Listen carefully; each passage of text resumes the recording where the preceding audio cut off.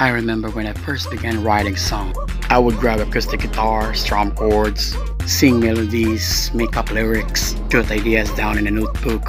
Sometimes we just work on the lyrics, and other times just the melodies or guitar parts. This is the way that many of us begin writing. It is a getting started phase. It is still a great way to brainstorm